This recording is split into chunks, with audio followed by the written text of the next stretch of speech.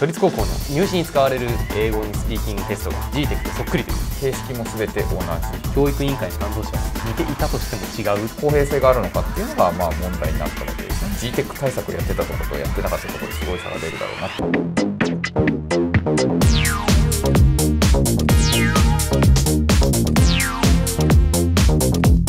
ことで始まりました、むちゃチャンネル。さあ、今回、関さんがですね、やってきたんですけど、ちょっと、おいおいどうなの？突っ込みたいよっていうことがあるらしいんで、はい。何なんですか？いや東京都の都立高校の入試に使われる英語のスピーキングテストが、まあ、民間試験の GTEC とそっくりという。はいはい、なるほど。これどうなんですかね、同じなんじゃないですか？ぶっちゃけ。はないるほどなるほど。一応都の人は似ていても違うというふうに言っているそうなんですけどそうなのかなと思って同じなんじゃないかなっていうのもありまして。名前が違うだけだと思います。ESATJ English Speaking Achievement Test for Junior High School Students の略だそうですね。なるほど。えネットに出てるサンプルテストとか見てみると、まあ、ほぼまんまですよねみたいな感じ、そもそもなんか説明が同じなんですよね。だって。ほぼほぼ。確かに。ESATJ だとパート A は全部で2問あります。聞いている人に意味や内容が伝わるように英文を声に出して読んでください。はじめに準備時間が30秒あります。録音開始の音が鳴ってから回答を始めてください。回答時間は30秒です。GTEC はもうほぼ同じですね。パート A は全部で2問あります聞いている人に伝わるように英文を声に出して読んでくださいはじめに準備時間が30秒あります回答時間は30秒ですああ、同じですね。はい同じですね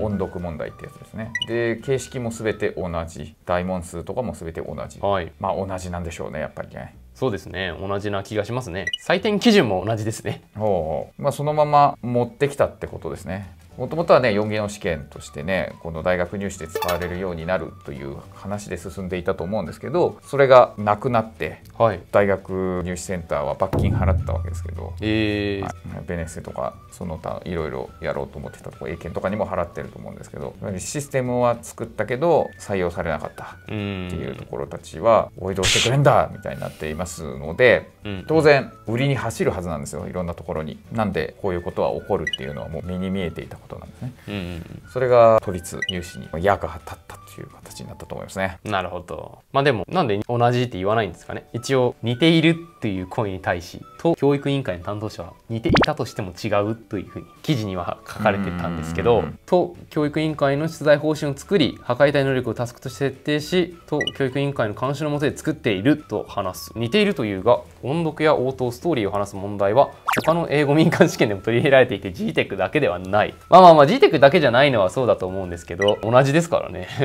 問題構成まで一緒っていうのは、 TOEIC Speaking とかも音読問題とかありますけど、まあ、英検とか IELTS とか他の試験と比べるとまあまあ同じですよねみたいなところはありますよね。まあ採点基準も同じってことですからもともとあった問題で作られるんじゃないかなと思いますけどね。でまあ担当者の方は測りたい力を測れているかが大事。いやもうそれはもう激しく同意ですね。なんで全然問題ないと思うんですけど なんで同じって言わないんだろうなっていうのだけちょっと不思議な感じですよね、まあ、中学の授業でやってきたこと子どもたちに身につけてほしいものこれらが書かれているかどうかが大事で似ているかどうかは問題ではないのではというまあまあまあそうだとは思うんですけどね。ここまで似てると何か言われちゃいますよねっていうのはありますよね、うん。でまだ他にも問題点があると思うんで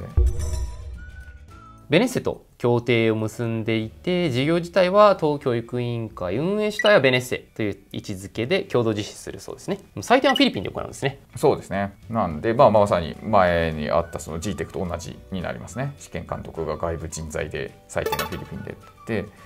なのでそこに公平性があるのかっていうのがまあ問題になったわけですね昔。うん。なんでそこの問題を解決されていないとすごく大きな問題になるのでやってくれることを期待してますけどまだ中高で学校の中だけで実施されてるもので採点が結構ぐちゃぐちゃになってるっていうのが、まあ、問題視されていたわけですね。うん。まあ、まだ問題視されてるかもしれないですけど実際すごく英語ができる人の回答の点数が低かったりとか全然こんな何これ全然できてないじゃんっていうのが高く出ちゃったりとかうんこれはもう採点している人が適当なんじゃないかとか、うんちゃんとそういったこう採点をできるようにする訓練だったりが行われてないんじゃないかとかっていうのでですね表にはそんなボンと出てはいないですけどこれは言われたりするわけですね学校の先生たちの中では。うんなんでそれを解決しないと絶対いけないと思うので当然入試になったらとんでもないことになるわけですね人生に関わってくることなので。うん。なんでそういったものが解決されるのかっていうのは問題になりますね。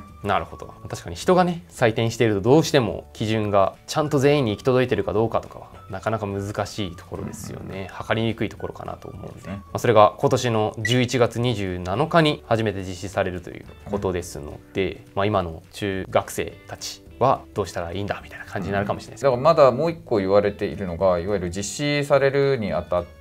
スピーキングテストが聞こえてしまうっていうのがすごく大きな問題とされているものなんですね。他の人が喋ってるのが聞こえちゃうよ。うーんまあ確かに。あって全く追って同時にスタートできるものだったらいいんですけどずれちゃったりとかした時にですねうん。iPad とかいわゆるタブレットが配られるんでそのタブレット同じ時間にスタートじゃないので、うん。それぞれバラバラに始まっちゃうんで、まあ、わかんない。その辺改善されるのかは分かりませんが、そうなった場合にやっぱ誰かがもう喋ってるのが先に聞こえちゃうとか、そういうのが出てくる可能性はありますね。うん。なんで一応あのでっかいですね。あんまり聞こえないやつにするんですけど、はい。今までは本当全部丸聞こえの状態で GTEC って実施されてるんで、うん。それがでっかいやつで聞こえなくするって言うんですけど、うん。いやそれも絶対ずらしてくる人とか出てくるだろうなっていうのはあってうん。聞こえちゃう可能性は絶対あると思っててどれぐらいの距離で座るのかも分かんないですし、うん、まあすぐ隣とかに座りそうですよね。そういったこともあるのでまだまだ問題は山積みだろうなっていうふうにえーなりますね。うんなるほど。まあ、実際その反対だっていう人たちはいるわけで、まあ、その大学入試のね共通テストの時とか4技能試験に関して反対が出たのと同じように実際出てはいるんですよね。だから中止を求めてるっていう声はあります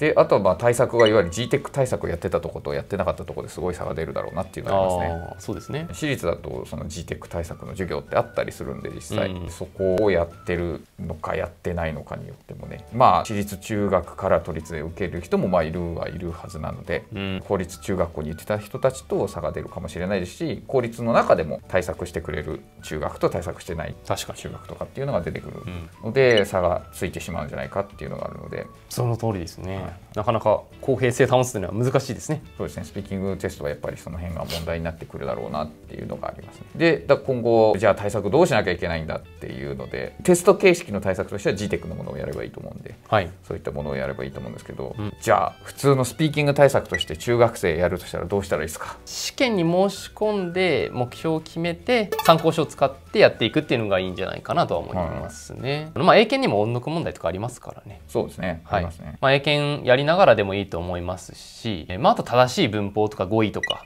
使って英文作れるようにしたりとかも必ず必要になってくることかなと思いますね。まあ、中学になってくると学校で使われてる教材それだけやってても基礎が固まらないんじゃないかなっていうものになってると思うんで、まあ、市販の教材とかも結構自分たちで考えて選びながらっていう感じになってきちゃいますよね。まあ多分対策本が出てくるんだと思うんですね、まあ、GTEC 自体はすごく少ないんでちゃんとできるのかどうかなっていうのはあると思いますね。実際どんな試験なのかはですね概要欄貼っときますんで。はい、見てもらえればいいんじゃないかなと思いますね、まあ苦手ですよ。日本人やっぱ4コマの描写するとかすごく苦手ですし言われたものを聞き取れなきゃいけないですからねそもそも、うん。聞き取ってそれに対して答えるものとか苦手な人いっぱいいますので、うん。まあ差はすごくついちゃうんじゃないかなと思いますね。で学校の先生にも知ってる人と知らない人がいると思うんで学校の先生だけに頼ったりとか塾の先生だけに頼ったりしてたらダメかなと思いますね、なんで、まあ、なかなか自分で主体的にというのは難しい年頃かなとは思うんですけど、はいこれに向けてちゃんと勉強していこうっていう人はですね自分で参考書を見比べたりとかしながら主体的に動いていかないといけない中学校からでも自学自習が求められてくるんじゃないかなというふうに思いますね。オフィシャルの参考書公式がそろそろ出てきてもいいかなと思うんで感じでやってみてもらえればいいんじゃないかなと思います。はいということで今回はですね2つの試験似すぎだよっていうの、ね、をちょっとお伝えしました。はいご視聴ありがとうございました。Thank you for watching.